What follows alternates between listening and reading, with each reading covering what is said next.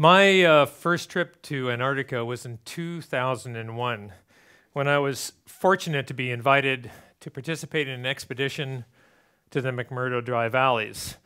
At 6,500 square kilometers, the McMurdo Dry Valleys is the largest ice free, permanently ice free area on the continent. Now, for me as a microbiologist, this was a really exciting opportunity because for the last 30 odd years, I've been studying probably the most extreme environments on the planet and the microbial communities that inhabit them, whether it be the deep sea hydrothermal vents, the hot springs around the world, tops of active volcanoes, or acid mine drainage sites. And the reason I'm doing this is because I believe that by understanding how bacteria can operate under extreme environments, we're better able to understand how they operate in more complex ones, and you'll see in a moment why. I believe that bacteria are probably the most amazing organisms on the planet. Now, my mom, who's 90 years old, asks me every time that I go see her why, of all the beautiful organisms on the planet, I chose to work on something you can't see. It's something that most people really don't care about. Well, I'm going to give you some reasons why I think these are such great organisms. First off, they've been around for 4 billion years and have survived multiple extinction events and multiple climate change events. They're the most diverse organisms on the planet. In fact, we have only been able to culture about less than 1% of them. They occupy just about every niche on the planet, whether it be man made or in the environment.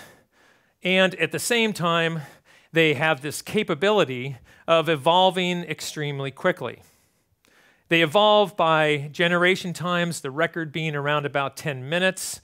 Evolving this capability, they have the ability to acquire DNA from the neighboring cell, from the environment, or even from a viral infection, giving them an increased and immediate capability to adapt to an ever increasing and changing environment around them. They also, in my opinion, are the master biosensors on the planet.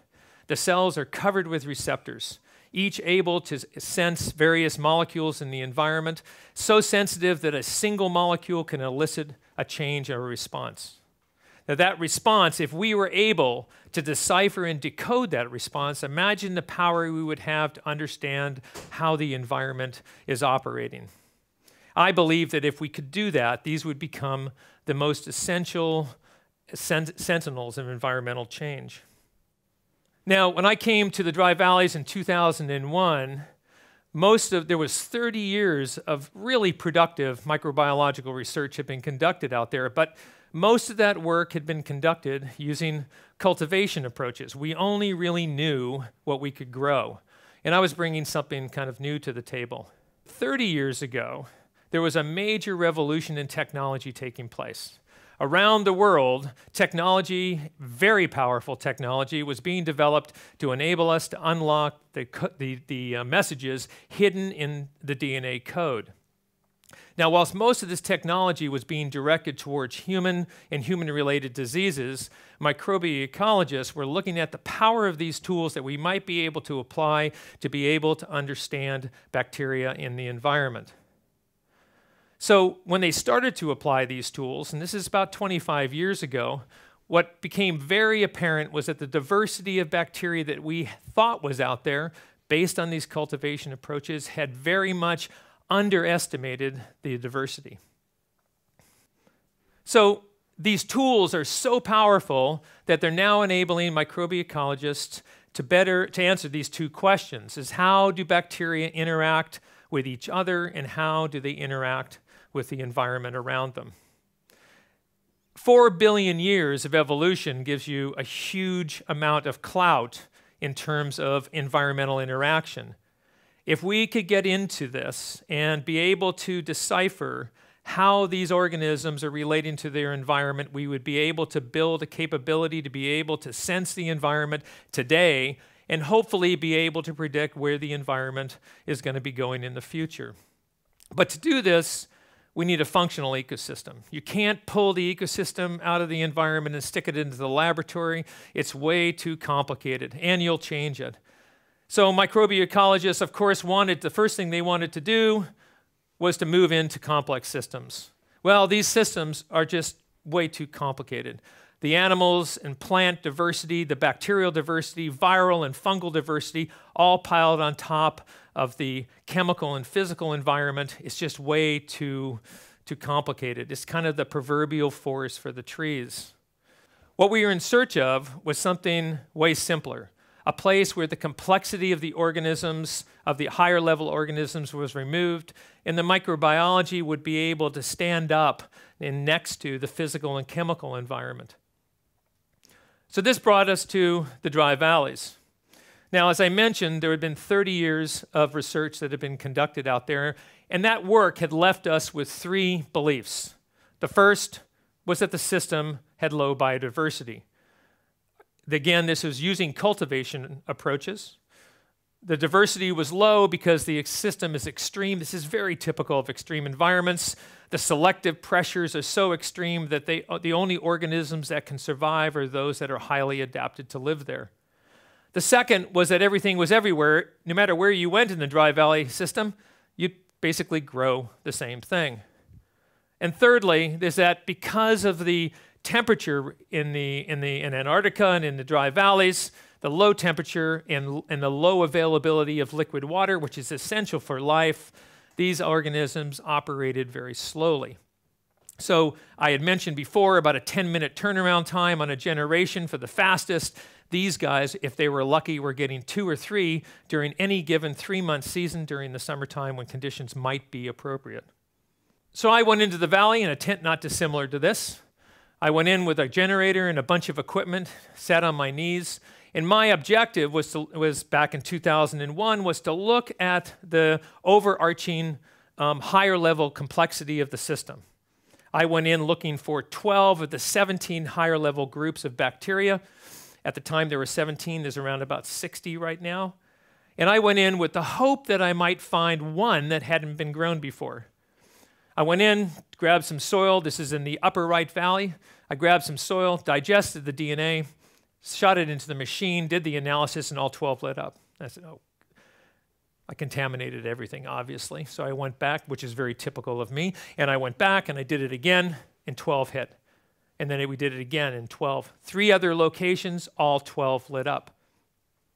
So it became apparent to me that actually, like other places on the planet, we had totally underestimated the diversity of bacteria in this system. So immediately the questions that came up, an extreme system should be have low diversity and we don't have that. So why is it so diverse? And what is maintaining that diversity? So over the next um, four or five years, a program called the New Zealand Terrestrial Antarctic Biocomplexity Survey began to look at and undertake a landscape scale analysis. It was the most comprehensive landscape scale piece of work ever conducted on the continent. The sole purpose of this was to understand the, di the, the, distribution of the biota, including the microbiology, and specifically to test each one of these beliefs. So the first one, belief number one, was this low diversity. So in 2001, I began to see that, but when we did a, a landscape scale study, this entirely proved out to be true. So we have high diversity throughout the Dry Valley system. The second one is everything is everywhere.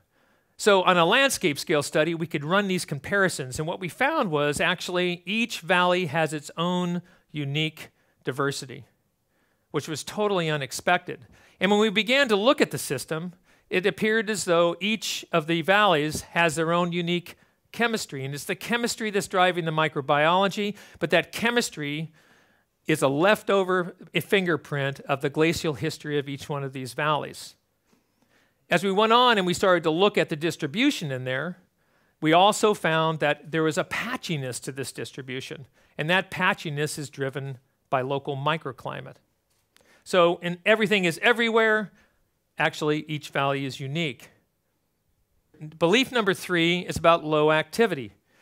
So the system, for all intents and purposes, these organisms should be operating really slowly.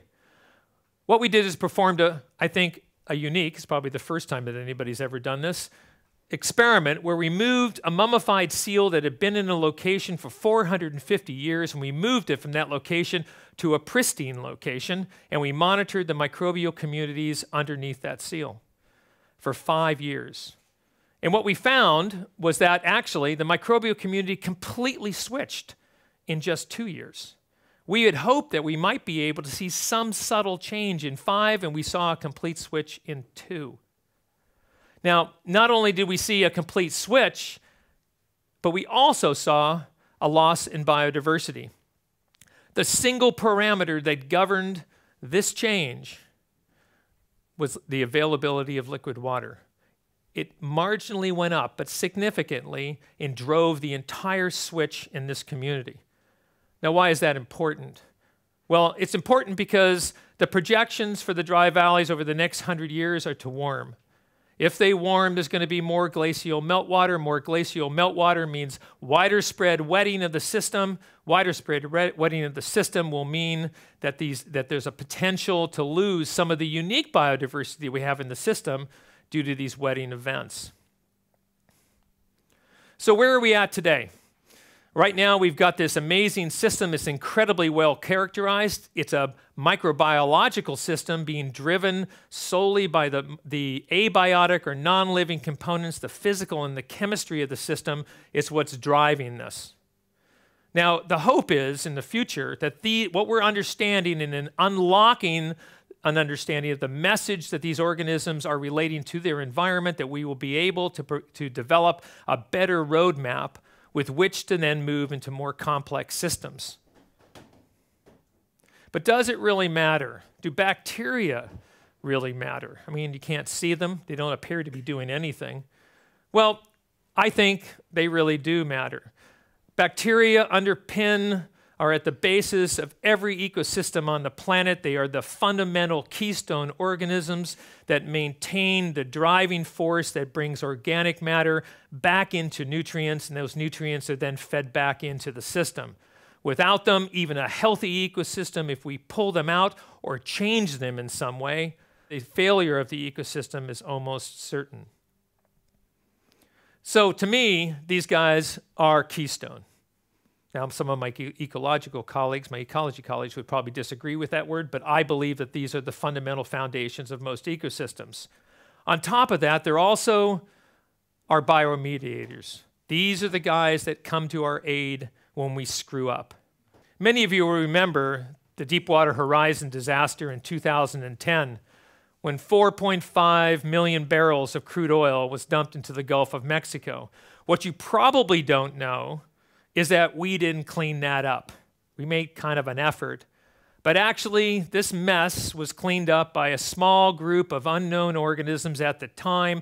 They came to our aid and bloomed in that situation and took care of this problem. Now, the Deepwater disaster in itself, it was it occurred in a specific time in a specific place. Now, we have a much more important pending problem in the climate crisis. Many of you will feel almost helpless or even wondering whether your independent actions that you take place every day are having any impact on the climate change. And maybe they're not.